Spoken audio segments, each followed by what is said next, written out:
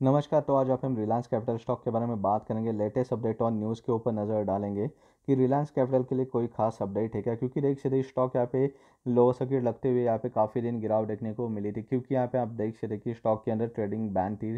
Trading ban थी, आज देख सकते फिर से ट्रेडिंग चालू हो चुकी थी। तो कोई खास खबर है क्या? उसके ऊपर नज़र डालेंगे हम लोग रिलायंस कैपिटल के। तो न्यूज़ की बात की जाए तो देख से देखिए रिलायंस कैपिटल रिजोल्यूशन 15 मिनट आगे की न्यूज़ है। An national company law of tribunal जो है allows lenders plea for another round of bidding तो देख से देखिए एनसीएलटी ने यहाँ पे बिडिंग के लिए अदर राउंड भी यहाँ पे दिया गया है। उन्होंने यहाँ पे अलाउ भी किया है, तकरीबन यहाँ पे लेंडर्स को बिडिंग के लिए।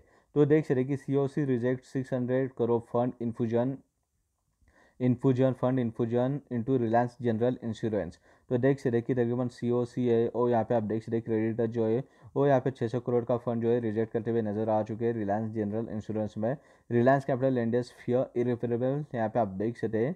Reliance General Insurance quarter three result profit after tax Rajesh twenty three percentage year one year two rupees fifty nine crore तो देख सकते कि तकरीबन यहाँ पे रिलायंस कैपिटल रिजर्वेशन अब फिर से एक बार बिडिंग होने वाली है। Ready to take over Reliance home finance by March thirty one अत्यम यहाँ पे आप देख सकते स्टेल्स टू सुप्रीम कोर्ट तो रिसेंटली ट्रेडिंग चालू हो चुकी है तो देख सकते कि स्टॉक में फिर से बाउंस बैक पुल बैक देखने को मिल सकता है। नाइन लेवल को ब्रेकआउट दिया है तो नाइन लेवल के ऊपर सेटल हो रहा है तो फिर से ऊपर टेन लेवल तक जाने के जो चांसेस है, नज़र आ सकते हैं। Market cap two twenty seven crore की यहाँ पे रिलायंस कैपिटल की लास्ट फाइव डेज़ में देखा जाए तो स्टॉक एट परसेंटेज ऑफ़ है। यहाँ पे आप देख सकते स्टॉक एक अच्छी मूव बनाता हुआ नज़र आ चुका है। तो पिछले पाँच दिनों से स्टॉक में ट्रेडिंग यहाँ पे अच्छे से देखने को मिली है।